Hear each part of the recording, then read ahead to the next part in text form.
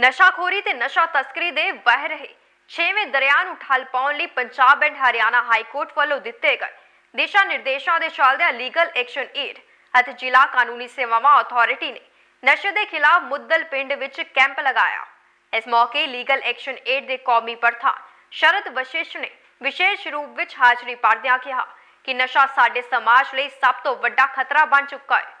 ਨਸ਼ਾਖੋਰੀ ਤੇ ਨਸ਼ਾ ਤਸਕਰੀ ਰੋਕਣ ਲਈ ਸਰਕਾਰ ਤੇ ਪੁਲਿਸ ਸਾਂਝੇ ਰੂਪ ਵਿੱਚ ਮਜ਼ਬੂਤੀ ਨਾਲ ਕੰਮ ਕਰ ਰਹੇ ਹਨ। ਉਹਨਾਂ ਕਿਹਾ ਕਿ ਇਸ ਸਮਾਜਿਕ ਅਲਾਮਤ ਤੋਂ ਸਦੀਵੀ ਛੁਟਕਾਰਾ ਪਾਉਣ ਲਈ ਸਮੁੱਚੇ ਪੰਜਾਬ ਵਾਸੀਆਂ ਨੂੰ ਸਾਂਝੇ ਤੌਰ ਤੇ ਕੰਮ ਕਰਨਾ ਹੋਵੇਗਾ।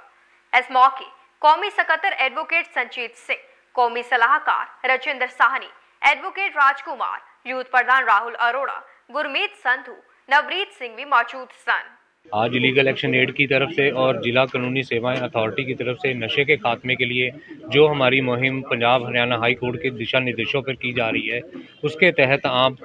आम लोगों के साथ और पुलिस प्रशासन के साथ मिलकर गाँव मुद्दल में हम लोगों ने ये कैंप का आयोजन किया, जिसमें हमें पुलिस प्रशासन का, गाँव वालों का और यहाँ के सरकारी स्कूल के बच्चों का और उनके अध्यापकों का पूरा सहयोग मिला।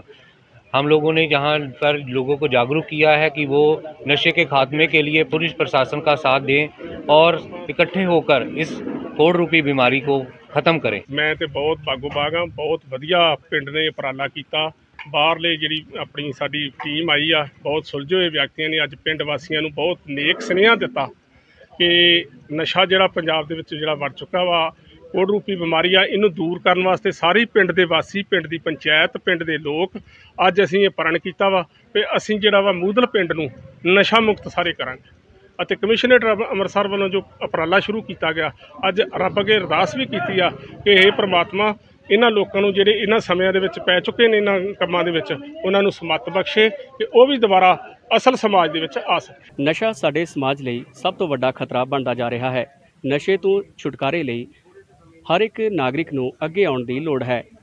Punjab and Haryana high court ਦੇ ਦਿਸ਼ਾ ਨਿਰਦੇਸ਼ਾਂ ਅਨੁਸਾਰ ਲੀਗਲ ਐਕਸ਼ਨ ਏਡ ਅਤੇ ਜ਼ਿਲ੍ਹਾ ਕਾਨੂੰਨੀ ਸੇਵਾਵਾਂ ਅਥਾਰਟੀ ਵੱਲੋਂ ਹਰ ਰੋਜ਼ ਕਿਸੇ ਨਾ ਕਿਸੇ ਕਸਬੇ ਵਿੱਚ ਸੈਮੀਨਾਰ, ਕੈਂਪ ਅਤੇ ਰੈਲੀਆਂ ਦਾ ਆਯੋਜਨ ਕੀਤਾ ਜਾ ਰਿਹਾ ਹੈ ਤਾਂ ਜੋ ਵੱਧ ਤੋਂ ਵੱਧ ਲੋਕਾਂ ਨੂੰ ਜਾਗਰੂਕ ਕਰਦਿਆਂ ਨੌਜਵਾਨ ਪੀੜ੍ਹੀ ਨੂੰ ਚੰਗੇ ਰਾਹ ਪਾਇਆ ਜਾ ਸਕੇ। ਸੋ ਸਰਕਾਰ ਅਤੇ ਪੁਲਿਸ ਪ੍ਰਸ਼ਾਸਨ ਆਪਣੇ ਲੈਵਲ ਤੇ ਕੰਮ ਕਰ ਰਹੇ ਨੇ। ਪਰ ਲੋੜ ਹੈ ਕਿ ਹੁਣ ਲੋਕ ਵੀ ਜਾਗਰੂਕ ਹੋਣ। ਨਸ਼ਾਖੋਰੀ ਅਤੇ